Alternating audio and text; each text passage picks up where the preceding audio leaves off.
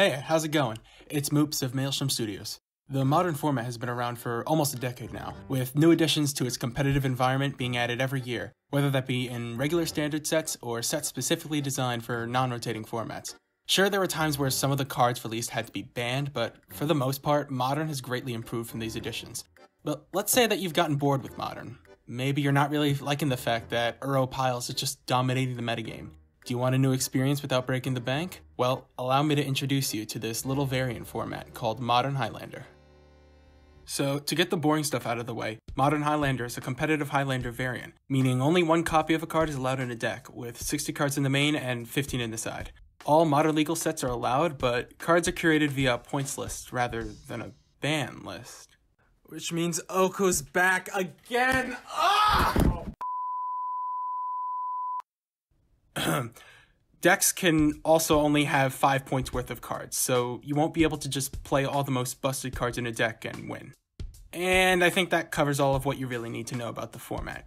It's still relatively new, and the meta is slowly being developed, so it's kind of like Pioneer right now in the sense that people are just playing whatever they think is good and seeing what works. We've got Twin, Dark Depths combo, Birthing Pod, Uro Piles, Jund, and now I'm throwing my hat into the ring with Rakdos Kitty Karnage. So what exactly is Kitty Karnage? Well, it's basically just the Lurrus aggro deck that's currently a modern but transferred over to Modlander. This means we run low-cost creatures that benefit from us casting multiple spells in a turn, and aim to beat down our opponents before they even know what hit them. So why play red-black instead of red-blue? That's a good question, and you honestly could play either. But I chose to play red-black for two reasons. Reason number one, I get to play a kitty cat. Reason number two, black gives us a bunch of options when it comes to its spells, whether that be in the form of discard or spot removal. There's so much that we get to take advantage of, but I'll touch on that later when we get to it. For now, let's jump right into the list, starting with the creatures. So with most of our creatures, all we really plan to do with them is go face. However, our creatures differ in how they go about hitting face. We run Abbot of Keral Keep, Kiln Fiend, Monastery Swiftspear, and Soulscar Mage as creatures that can benefit from us playing multiple spells in a turn. They seem weak on their own, but couple them with a few one-cost spells, and suddenly they grow into huge threats. It's also worth mentioning that Soulscar Mage is coupled nicely with all the red removal we have in the deck, since his ability gets around indestructible, and can actually soften blows that would be dealt to us by our opponent's creatures. Abbot is really good at keeping up the momentum by allowing us to play the top card of our deck. We don't want to run out of steam, otherwise our opponents can capitalize on that and neutralize any of our threats, so Abbot helps in that sense. Another card that someone fits in this category is Young Pyromancer. This 2-1 for 2 can steal so many games just by playing our deck the way we intended to, we can make an insane amount of elementals over the course of a few turns, which can serve as extra damage or expendable chump blockers. Either way, if you can get him on the board, keep him there for as long as possible. Some of our creatures benefit not from casting spells, but by having spells in the graveyard. Deathrite Shaman, Dreadhorde Arcanist, Grim Lavamancer, and Magmatic Channeler make up this ragtag group. Deathrite Shaman was banned in Modern and Legacy for a reason. This card is absurdly powerful in this deck. We not only get to benefit from our graveyard, but our opponent's graveyard as well, whether that be from exiling a fetch land to generate some mana, or exiling spells to deal some damage. Dreadhorde Arcanist can not only give us some repeated value from our graveyard, but can also buff our prowess creatures at the same time. A lot of our spells are one cost in this deck, so we can ensure that if a spell ever hits the yard, it'll come back eventually. Grim Lavamancer ensures that we can utilize our graveyard even if we don't have our kitty cat with us, by exiling two cards from the graveyard, we can have a repeated shock targeting whatever we like, which can come in handy if blockers are ever a problem. Magmatic Channeler is a recent addition from Zendikar Rising, and oh boy is it good in this deck.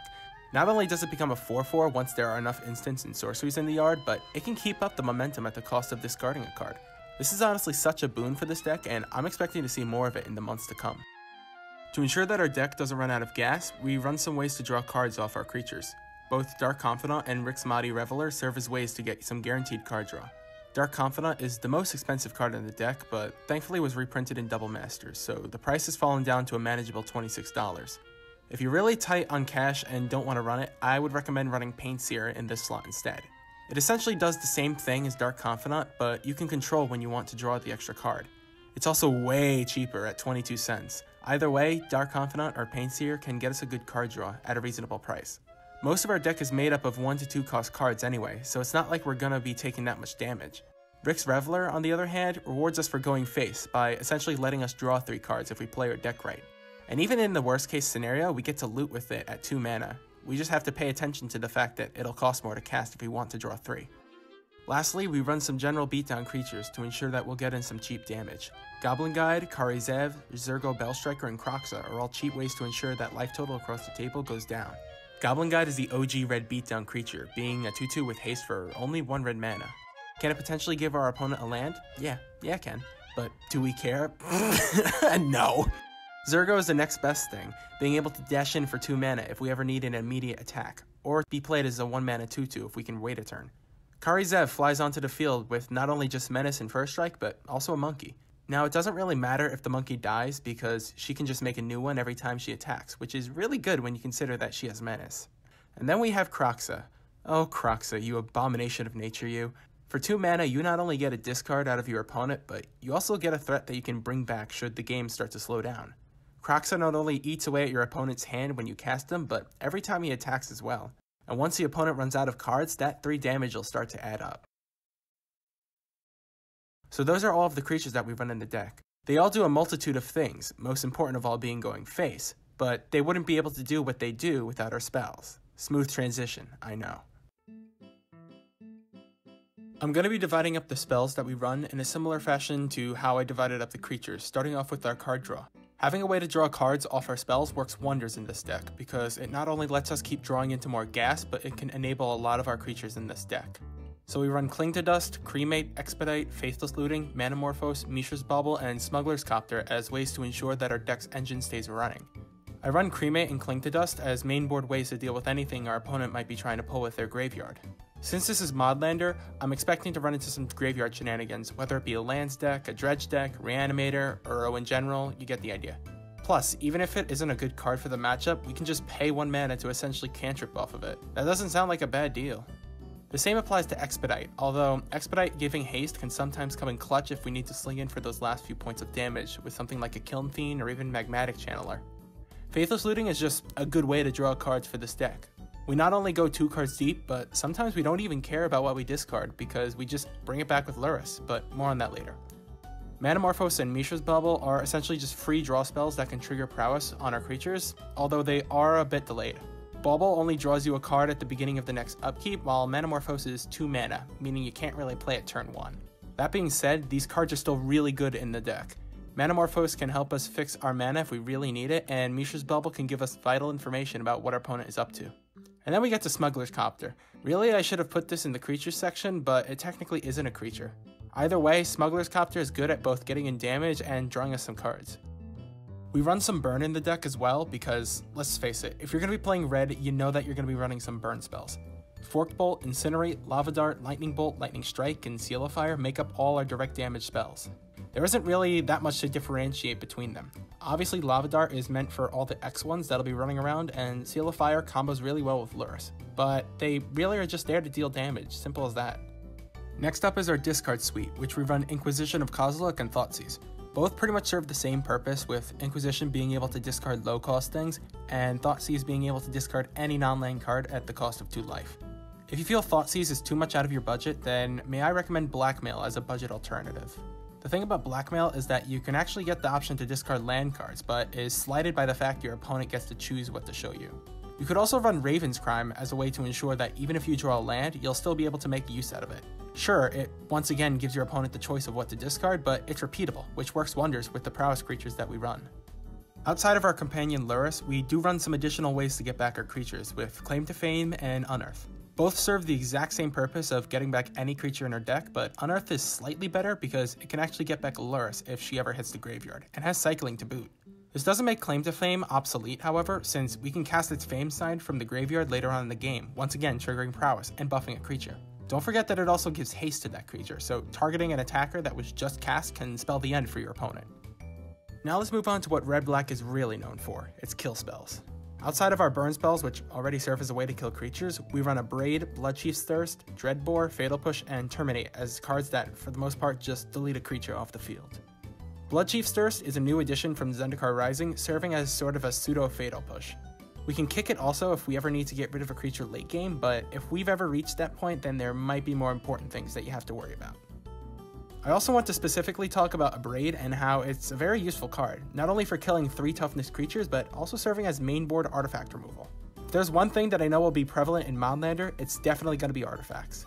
We've got Birthing Pod, Arcum's Astrolabe, Umezawa's Jitte, Batterskull, the Protection Swords, freaking Chalice of the Void. If there's one way to shut down this deck, it's Chalice. Like I said earlier, a lot of our spells have a converted mana cost of 1, so if our opponent can play this early game, we're fucked if we don't find a way to remove it. Abrade is super useful at getting rid of Chalice, mainly because it has a converted mana cost of 2, thus getting around Chalice. Apart from that, the rest of the removal package is nothing too special. Lastly, we get to our flex spells. What do I mean by flex spells? Well, they're spells that can do different things depending on what we want them to do.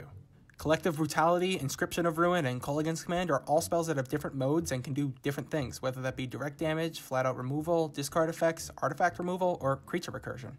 They are all powerful cards in any given situation, and even though they are a bit highly costed at 2 to 3 mana, I'm more than happy to include them. Uh, oh yeah, lands. Um, uh, we need those. Uh, there's nothing really special here. It's about as predictable as you'd expect for a deck like this. We run 20 lands, which are made up of 7 duals, 12 basics, and 1 fetch land. That's right, we're running Bloodstained Mire. It's a good way to trigger Fatal Push's Revolt ability if need be, but if you don't have the money to buy it, you can easily replace it with a Fabled Passage or a Mountain if you'd like to. Fabled Passage can trigger Revolt and thin your deck, but the land will most likely come into play tapped, and that's not what you want in an aggressive deck. Still, there are options out there. Now that I've talked about the main deck, let's move on to the sideboard. Engrass Rampage and Searing Blood are there as more general removal, with Rampage being able to destroy different kinds of things, and Searing Blood exiling the creature it kills. Cleansing Wildfire and Molten Rain are ways for our deck to deal with problematic lands that might hit the field, whether that be Field of the Dead, Dark Depths, Thespian Stage, you get the idea. Deathmark and Eliminate are more specific kinds of removal, with Deathmark only targeting green or white creatures and Eliminate being an upcosted Blood Bloodchief's Thirst. Against control decks, we bring in Blightning, Duress, Fry, and Guttural Response as extra ways to ensure that they don't have any fun. Blightning and Duress are ways to get spells out of our opponent's hand, with Blightning adding a little extra damage onto itself. Fry is there just to get rid of problematic creatures or planeswalkers, mainly Jace, Oko, Teferi, Narset, you get the idea. Guttural Response is there as a way to counter blue spells. Because we're red black, we don't really have ways to get around our opponent countering our shit. Guttural Response is a card that I haven't seen get a lot of attention, and it can serve as a kind of gotcha moment in the same way Mana Tithe does.